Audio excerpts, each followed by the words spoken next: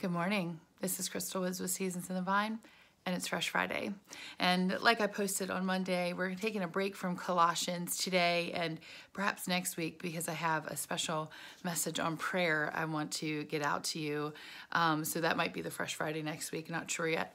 Uh, but uh, today we're going to take a little break because I'm going to invite you into a process of letting go and healing that I have been working through with the Lord and with my spiritual mentor and my parents and my husband and and my daughter um, through the last year and five months. And so I I tend to release things when I have a bit of healing and stability.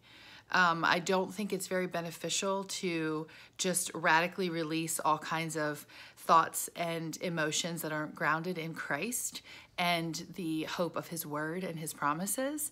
And so I process and then I get the go ahead to release and um, I call it responsible releasing, and I do it with how I teach the spiritual gifts and and all of that. Like there's a level of um, release, and you can't. I say this all the time. You can't release what you don't own, and so until I own it, then I really can't release it. All I'm releasing is chaos, and God is not a God of chaos. He's a God of order.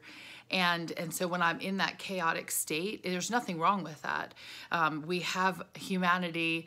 Um, you know we are human. And so in humanity, we have moments of chaos and immense emotional responses and lots of motives and heart stuff. And that's all part of being human, and there's nothing wrong with that. But just like the Holy Spirit hovered over the waters, um, and there was just chaos in the earth, the earth was void and without form. We know God, you know, He puts order into everything. So when it was all crazy, the Holy Spirit is just hovering over those waters, and then God begins to speak. And so when I'm in that crazy, watery, chaotic state, I have to be with the Lord and let Him do a work. And so that's the first thing that I want to share with you is that it's okay to be where you are. Go to the Lord with it. This is where we really have a hard time is when we're feeling the chaos, when we're feeling the emotions, when we're feeling all of these things and we don't go to the Lord. We try to work it out in our own wisdom and our own strength and there there is no healing there. There's no hope there. There is one healer, and it's not you. It is Jesus the Christ. And there's one comforter, and it's not you. It's the Holy Spirit. And there's one Father who binds up and wraps us and embraces us. And He is not you, He is Himself. And so we need to go to the Lord in those things. So, as many of you know, I have a, an older daughter, Shelby, and some of you have been to my events where she was at. Um, and she's amazing and awesome. And that's why her moving away was so hard. So i'm going to share the process of that and what that looked like um, just to be transparent and honest with you all about what was going on and what needed to be corrected in me. And i share that because i know if it's in me and i'm a human there's probably evidence of these things possibly in you and in relationships that you have with your children or with significant others or spouses or parents, um, lots of different ways that we can kind of get into these areas where it's not exactly what the Lord wants and the Lord does a pruning and so um, she left for Hawaii last year in January. So it's been a year and five months. And, um, you know, she was going to go for a year and it was going to be really exciting and awesome. As soon as we put her on the plane and I drove home that day, I immediately began to hear from the Lord. And I was getting, I mean, obviously I was grieving and crying because we were very close. And, um, and the Lord was revealing tons. It was like an incredible download. And um, I didn't really even know who to talk to that day. But what he was revealing to me is like, Shelby was so merged with your life, Krystal. And she needed to have her own life. And I, this is still very emotional for me, and that's okay. But I'm going to try to speak through this. And so I felt immediately like, oh my gosh, thank goodness, Lord, you've called her away so that we can be separate. Um, I joke uh, a lot. I don't really joke, but it was like a serious time in our lives where we would head off to Zeal Church because we had gone there to be part of the plant. And on the way in, we'd listen to this great song by Maverick City called um, mm, When I Lock Eyes with You. And then it has this little tag song called Take It All Away. We'd be singing and be like, Lord, if there's anything that's not of you, you know, take it away. Search my heart, God. And then, and then he did. And, and, and it was like, I want to be totally devoted to the Lord so if there's anything not of you, if there's any connection, any bond that is more than what you desire, Lord, you know, take it away. And then I didn't realize that it was going to be my daughter. Um, and, it's not like a taking away as in a forever thing, but that that bond. There were parts of that bond that were too connected. It's called enmeshment. And there was just too much of my life and my joy in her. And she needed to have her own life and her own joy separate from me. And I mean, there's just a lot that went on there that I don't need to share the nitty gritty, but too much connection, which can really happen very easily. Um, our family had gone through a lot of trauma and we were very bonded in trauma, but being bonded in trauma is not healthy bonding. It's a very intense bonding of survival. But we didn't need to survive anymore. We had gotten through that season of intensity. The Lord had healed and restored, and now it was time to, to be separate and to have only the holy connection to each other that God designed a mother and a daughter to have, or a father and a daughter to have, or siblings to have, or whatever you fill in the blank. And so um, there was there was this immediate like, you know, does she even have her own life here, and what does that look like, and and all that. And so the Lord had revealed so much of why she needed to go away and and to just be separate. And um, it was devastating, but I knew, I mean, he downloaded it literally within minutes of her leaving that this is me working. And so you have to trust me. And you need to work this out, Krystal, because you are too connected. And and so I share that just you know take it as it is just being honest about what that looked like. Um, and she's an awesome amazing person. So anybody that's around her is like wow she's great. You would want her in your life. Um, and uh, and so that was what started the process and it went on and on and on and then um, around august she informed us that she wasn't going to be coming back anytime soon and that was like oh my goodness wow another wave of that because we did well we did well processing grieving with the lord and then another wave of that and um, and i kind of knew that was going to happen like she wasn't done there yet and there was still things that the lord was doing and and so in that process, when that happened, um, it, I was just a wreck and um, in that chaotic state. So I have to go immediately to the Lord. And I wanted healing. And that's what I want to, to share with you today is like, the Lord wants to heal you. He desires to do that. Jesus came to bind up the brokenhearted. So if there's any area that needs binding up, if there's any area that needs pruning, any area that needs to be put together, God is willing to do that. It's in his word. That's why he came. And so go to him. That was the biggest thing that I continued to do was like, Jesus, I know you understand my heart. And so I'm going to just be here with you. And I'm going to give you a really tangible walkthrough of what this looked like on Sunday this past week, which prompted this message. And so my spiritual mentor, I was away at a retreat with her and you know, it was like this is the time to really to really settle this. And so we prayed and I grieved that deep grieving and I, that's how I knew like there was just so much here and I didn't feel condemned for feeling it um, but I knew I needed to be healed of that and re- and I needed freedom from this intense level of grief um, because there was and I even got a word from a friend um, who said, like, don't confuse this season with the season before and think that the season before was better. And I was doing that. Like I don't I don't know how I want to live in this new reality. And I don't know what your new reality is for you, but I know the Lord is going to be speaking as I share this process.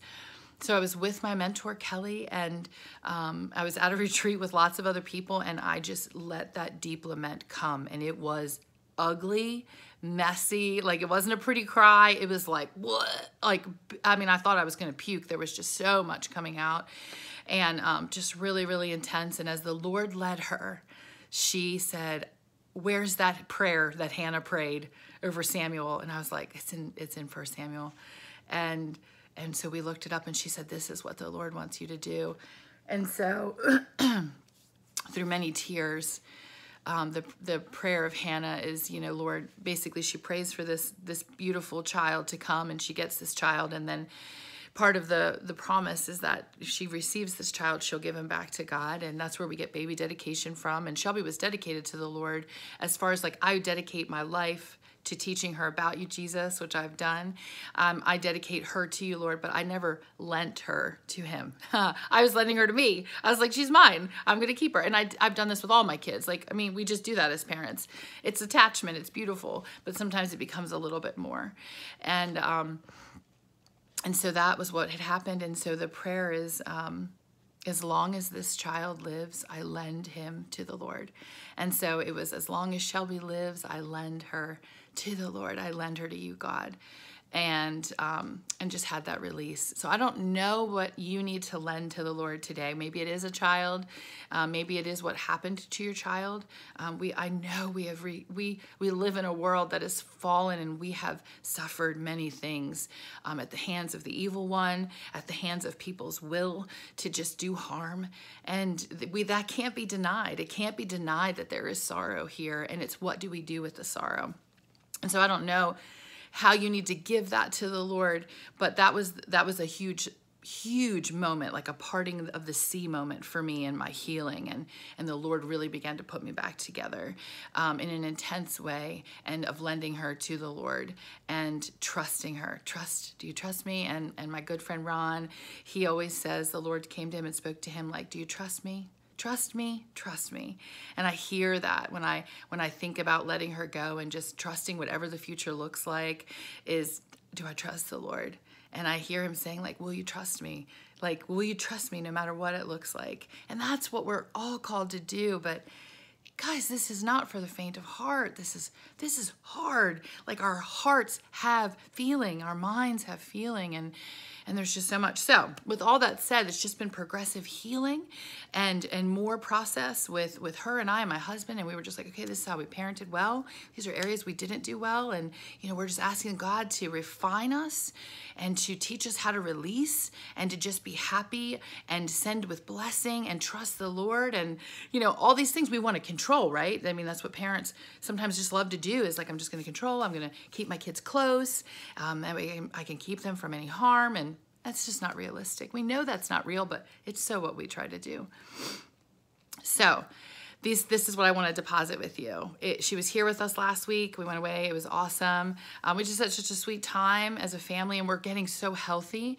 And um, you know, any areas that still need pruning, we will do that because I love the Lord, and she loves the Lord, and we are committed to to walking this out in a way that honors Jesus and um, you know anything that's not of him i can't have in my life none of us can have folks like anything that hinders us from the fullness of God moving and manifesting in our lives, from the kingdom coming, heaven on earth, um, we have to get rid of that. And, and it can be something like connection that you have with your child. Um, it can be lots of other things. It can be idolatry for your spouse, like so much emphasis on that relationship that if it's not right, you just can't be happy or be filled with joy. And and see, that's like that's not Jesus. So there's lots of different things. I know, Holy Spirit, you are just highlighting highlighting whatever it is for each person. But this is what my process looked like. Sunday, we were coming back. We were going to put her on a plane very early, like kind of in the middle of the night on Monday morning. And the blessing came on. I knew I needed to process and I felt that welling up of tears. Now I didn't process with her because this is this is my process with the Lord. I don't need to put onto her anything that's not for her. Um, this is for me to do with Jesus. Jesus is the one that I weep with. And and Jesus did this so well when we see him at the tomb of Lazarus and we see him in the garden like I'm in pain, Father. I'm in pain, but I'm coming to you and and I'm going to be real. So don't resist the sadness. That is so much work. And I just remember thinking, like, I am exhausted. I can't hold it in. I don't have the capacity. I need to let it out. And I crying is, is so annoying because it's just snotty and your eyes get irritated. But it needed to come out. It's how our heart speaks is through tears when we are in sorrow. And so it wasn't that I was sad that she was leaving. I was just sad that I wouldn't see her for a long time and be able to hug her or whatever. And so don't resist the sadness but embrace it with the Lord. And so this is what it looked like. There were certain songs I knew would lead me through the process. And so one was the blessing, and one was I speak Jesus, and one was take it to Jesus. And as those lyrics began to wash over me, I let the grief come up and out. Whew, and I just grieved and I grieved and I grieved from a soul level. This is like body movement, like up and out intensity, not pretty cry, but guttural cry, because that's where that was. And as I was doing that, I was sitting with the motives of my heart. So don't resist the sadness. Sit with the motives of your heart. What am I really feeling, God? And is this of you or is this of me? How do I need to get my heart in a place of obedience to you, in a place of hope? Are there any motives that are self serving, that are not serving of you, Jesus? Like, and He will highlight them. He wants to search your heart, like, He wants to be in there working things out. And as I began to grieve and, and process and sit with my motives, and he was working with me, and I'm just snotting everywhere, I, I felt him say, like, open your palms. And so I, I opened my palms because I needed to offer him. My offering at that moment was sorrow. I needed to offer him my pain and my sorrow and leave my hands open so that he could put the healing and restoration that I needed. He will not leave you open, friends. He is not that kind of God. Will you trust Him when you have to release this lament to have Him put you back together all at the same time? I do this all the time with people in, in my day job, as I call it, when I meet with people one on one and we process loss and tragedy. And so invite the Holy Spirit to comfort. That was the next thing. Came home from dropping her off. It was really in the middle of the night, so I laid back down.